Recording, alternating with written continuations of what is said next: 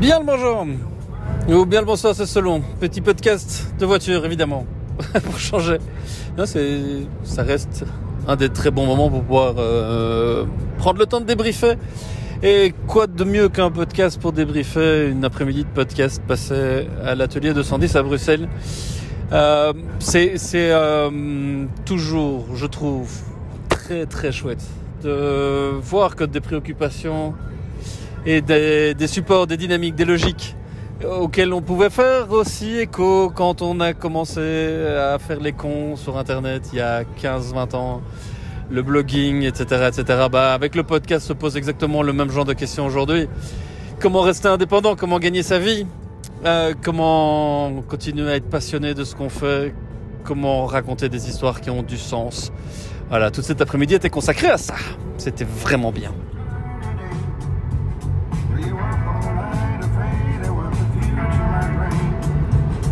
Donc oui, c'est un plan séquence et je monte le son et je baisse le son, comme disait Philippe Catherine.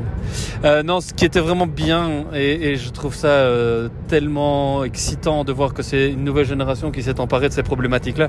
Et c'est une, une, génération, alors sans faire le vieux con, parce que je le serai assez vite, euh, ou toujours assez vite en tout cas, euh, c'est génial de voir qu'il y a toute une voilà, toute une bande de, jeunes professionnels parce qu'ils bossent, je pense, tous, ou ils sont dans cette phase où sortis des études, ils, ils se sont emparés de tout ça.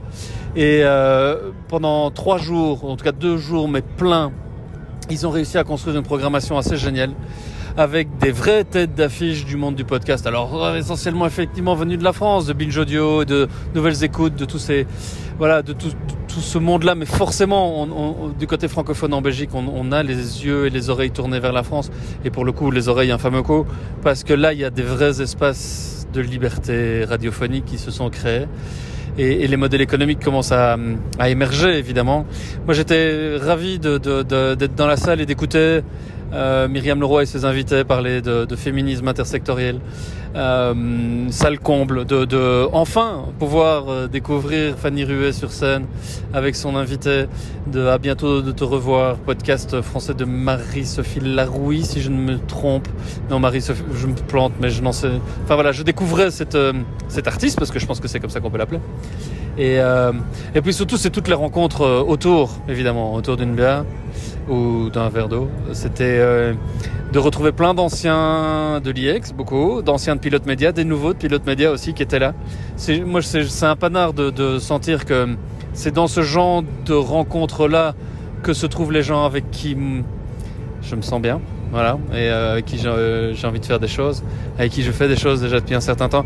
Mais voilà, une forme d'alignement aussi assez, assez cool dans ce genre de, dans ce genre d'événement parce que, parce que bah, dans la grande majorité d'entre eux, je pense qu'ils étaient bénévoles, euh, ils le sont tous, je pense, avec une vraie envie, quand, en discutant avec François, un des, un des organisateurs, une vraie envie de garder cette notion d'indépendance par rapport à tout ce qui est en train de se passer dans le podcast, qui immanquablement, dès que, dès que l'argent commence à arriver, ben on, a, on a différents types de professionnels qui rappliquent autour de la table, et pas que des gens qui sont soucieux de l'inclusion et et à tous les, dans tous les secteurs. Et voilà. Et je pense qu'il y, y, a une vraie différence par rapport à il y a 15 ans par rapport au blog, c'est que là sur le podcast et, particulièrement euh, euh, sur la scène belge euh, et francophone, il y a cette notion d'inclusion, de, féminisme, de voilà. Et, tout ça, moi, je trouve ça euh, bigrement rassurant sur l'état et la capacité d'indignation euh, et les interstices qu'il y a encore moyen d'aller euh, d'aller combler pour permettre à des professionnels de vivre de leur art et, de voir que voilà les, médias traditionnels, même s'ils restent des vecteurs d'inspiration et, idéalement toutes les productions dont on a pu parler pendant tout ce week-end devraient pouvoir trouver leur place, notamment sur les antennes de services publics et, ça a tendance à, à, arriver, je pense. Mais euh, la place qui est laissée à cette création sonore, peu importe comment on l'appelle, de réussir à voilà, non seulement à percer parce que ça touche un vrai public, et ça, médias ou pas d'ailleurs, euh, médias traditionnels ou pas, mais c'est clair qu'avec c'est mieux et c'est plus, ça va plus vite pour savoir si quelqu'un a quelque chose à foutre de ce qu'on est en train de raconter ou pas. Donc voilà.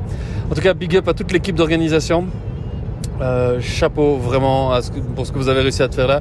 Hâte de, poursuivre les conversations, de discuter. Merci, euh, euh merci à Fanny pour cette très très belle découverte euh, et cette rencontre sur scène. Le, podcast en live comme ça, c'est un vrai plus. Et c'est des belles rencontres qui sont vraies, manifestement, ça se sentait.